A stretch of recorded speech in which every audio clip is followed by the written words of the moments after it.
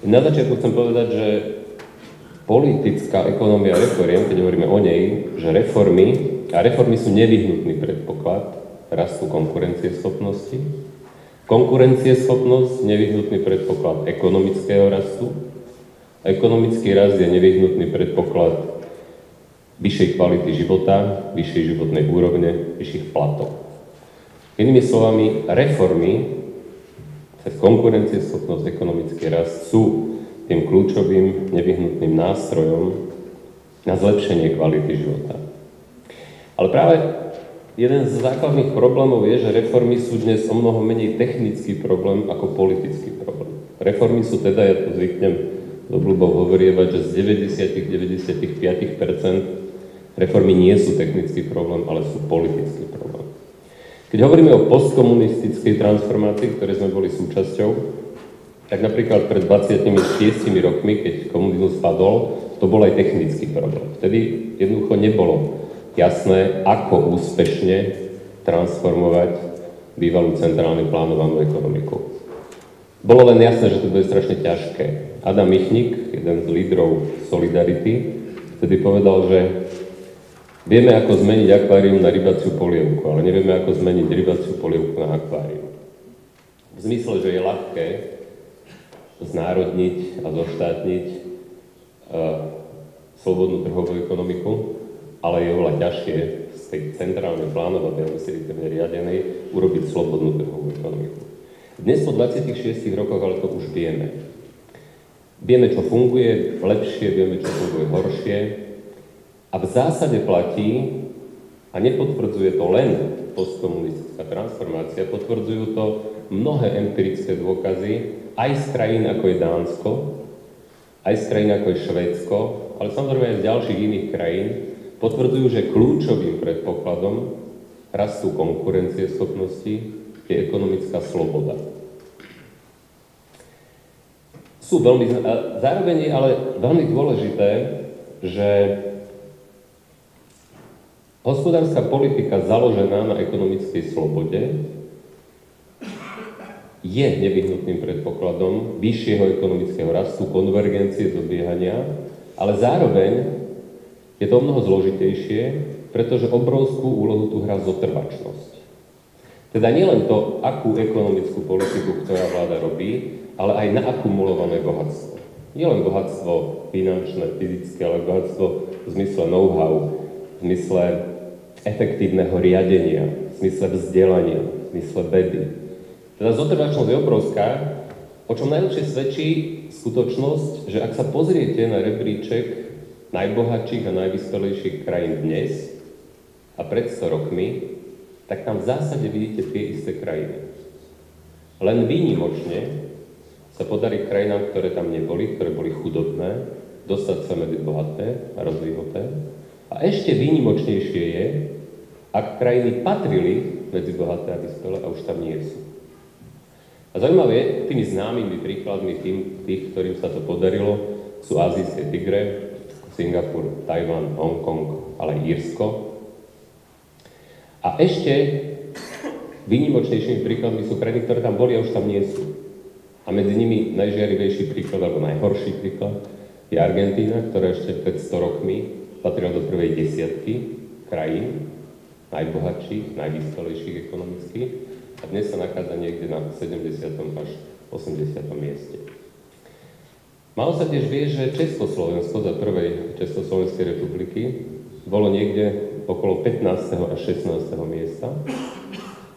Ešte v roku 1948 malo Československo vyšší hrubý domáci produkt na obyvateľa ako Rakúsko, po 40 rokoch komunizmu sme sa ocitli na 50 Československo sa ocitlo na polovičnej úrovni oproti Rakúsku a dnes po 25 rokoch transformácie sme ešte zďaleka Rakúsko nedosiahli, sme niekde na 70% rakúskej úrovne. Toto všetko, keďže ten čas mám obmedzený, je ďalší dôkaz toho, že ekonomická sloboda, ale aj politická sloboda, aj keď tam je to trošku zložitejšie, je kľúčovým predpokladom konkurencieschopnosti, rastu a teda, inými slovami povedané, ak chce niektorá krajina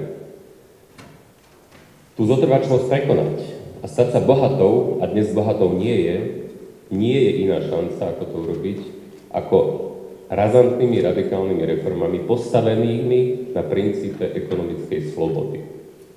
O čom ekonomická sloboda je, to už vysvetľovať nemusím, lebo to obidvaja moji predrečníci veľmi krásne ukázali. Nie je to len o veľkosti štátu, nie je to len o daňovej záťaži, ale je to aj o slobode obchodu, je to aj o efektívnej regulácii, je to aj o vymožiteľnosti práva, boji proti korupcii, ochrane vlastníckých práv a podobne.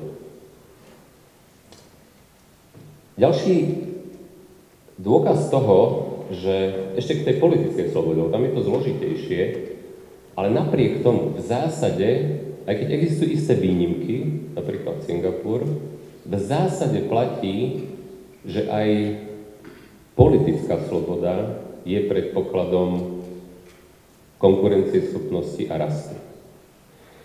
Keď e, začínala transformácia postkomunistická pred 26 rokmi, tak to nebolo možno až také jasné, ale dnes, keď sa pozrieme na tie skúsenosti, tak vidíme, že tie krajiny postkomunistické, ktoré mali nielen ktoré robili nielen reformy založené na ekonomickej slobode, ale mali aj pluralitný demokratický systém, čiže slobodu v politickej oblasti, a v ktorých sa často menili vlády, takéto krajiny boli úspešnejšie aj z hľadiska ekonomického, ako krajiny, ktorých prevládli semi-autoritatívne režimy alebo diktatúry, napríklad v niektorých krajinách Sovietskeho zväzu.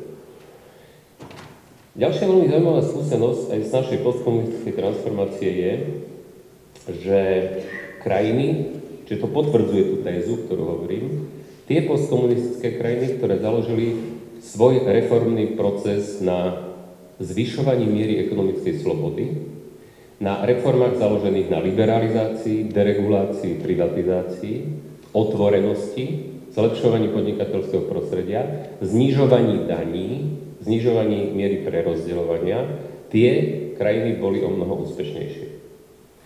Je 5 krajín, ktoré sú podľa môjho názoru najúspešnejšie, tranzitné krajiny. To sú tri baltské krajiny, Estonsko, Lotyšsko, Litva, ďalej Polsko a Slovensko. A tie čísla sú jasné, pretože myslím, že by sme sa mohli zhodnúť na tom, že ten úspech sa dá merať najmä konvergenčným pokrokom. Teda ako rýchlo tie krajiny dobiehajú krajiny západnej Európy v ekonomickej úrovni. Tak napríklad za roky 2000 až 2012 v týchto piatich krajinách priemerná miera konvergenčného progresu pokroku bola 21,4% Teda v priemere každá z nich sa v priemere priblížila k úrovni Európskej 15 o 21,4% Každá z nich o viac ako 20, kým v Maďarsku to bolo len o 7% a v Slovensku len o 3% je evidentné, že práve Maďarsko a Slovinsko robilo ekonomickú politiku, ktorá nebola založená na zvyšovaní miery ekonomickej slobody a na liberálnych reformách. Ale ešte by som využil, aj keď som chcel hovoriť aj o inom, ale predsa to Švedsko musím spomenúť, lebo to presne ilustruje to, čo hovoril môj predrečník o Dánsku.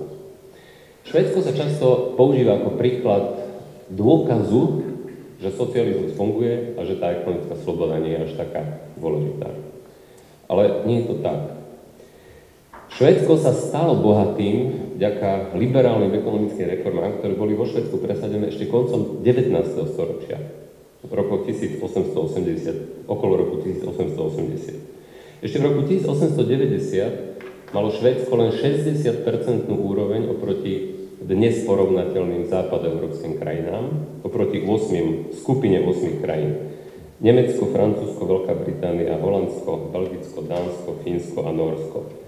Priemer HDP na obyvateľov týchto 8 krajín bol vyšší, bol, bol, bol len 60, Švedsko mal len 60% oproti týmto krajinám. V roku 1950 už Švedsko dosahovalo 140% HDP voči tejto skupine krajín. A priemerný ročný rast vo Švedsku v tých rokoch 1890 až 1950 bol 5,6% v priemere za rok, kým v tých ostatných krajinách porovnateľných to bolo len 1,4%. Dôvodom bol veľmi liberálny ekonomický systém založený na ekonomickej slobode, pretože ešte v 50. rokoch malo Švedsko nižšie daňové zaťaženie ako Spojené štáty americké. Potom prišlo k tomu obdobiu socializmu, zvyšovania daní, aj zvyšovania regulácií a Švedsko potom v rokoch 50 až 90, 1950 až 1990 malo nižší ekonomický rast oproti tým západoeurópskym krajinám a potom reformy začiatkom 90. rokov znovu naštartovali Švedsko k vyššiemu rastu. Ale teraz dovolte, aby som teda uh, uzavrel, mám len dve minúty, tým, o čom som chcel hovoriť viac, ale sa dá robiť, a to je politika. Uh, politická ekonomia, reforma politika. Prečo sú tie reformy? Zdalo by sa, OK, ak teda takéto reformy prinášajú ekonomický rast, ekonomický rast prináša rast životnej úrovne, rast kvality života. Politici by mali byť motivovaní robiť také reformy, veď politici chcú, aby sa ľuďom žilo lepšie.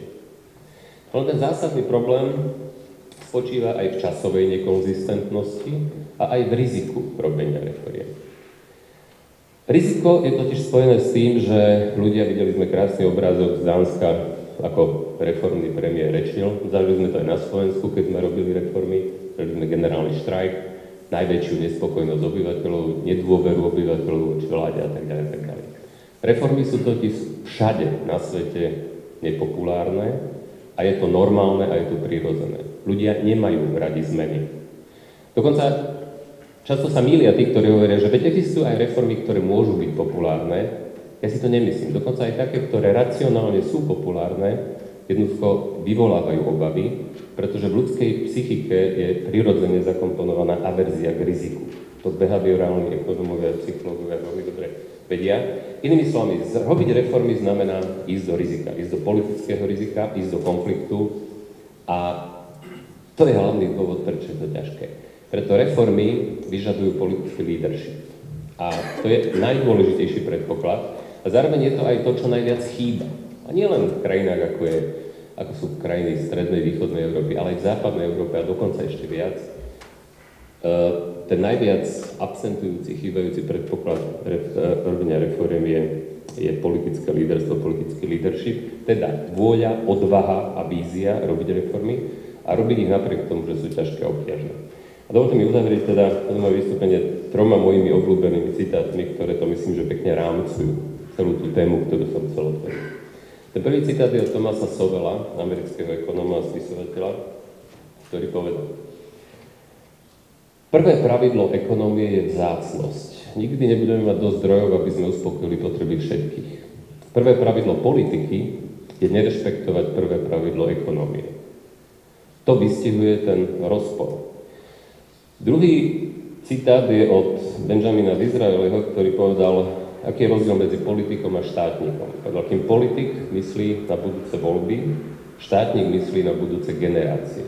Tento citát zase vystihuje dôležitosť toho dlhodobejšieho pohľadu a nepodláhnutie proste politickému cyklu a snahe byť populárny rozdávaním, ale zakladať zmeny, ktoré prinesú výsledky niekedy až tam, niekedy aj neskôr, ako je najbližší horizont. Na posledný citát je od žijúceho klasika, Žána Klóda Junckera, ktorý niekedy v roku 2005, keď som na Ekofine ako minister financí sa zúčastňoval nekonečných debat o tom, prečo sa nedarí naplňať Lisabonská stratégia, podľa ktorej do roku 2010 mala Európa dohoniť a predbehnúť Spojené štáty americké v konkurencieschopnosti, keď sme neustále dookola diskutovali, prečo a aké reformy treba robiť, tak Jean-Claude Juncker ako vtedajší premiér, ale aj minister financí Luxemburska povedal, áno, áno, veď jasné, my všetci vieme, čo treba robiť, ale nevieme, ako byť potom znovu zvolení, keď to urobíme. Takže uh, myslím, že aj z tohto vidieť, že politický leadership je to dôležité, čo je potrebné, ale aj to, čo najviac chýba. A nie len v súvislosti s ekonomickými reformami, ale aj s krízou, ako je migračná kríza v súčasnosti a ďalšie krízy, ktoré sa, ktoré sa nabalili. Ďakujem pekne.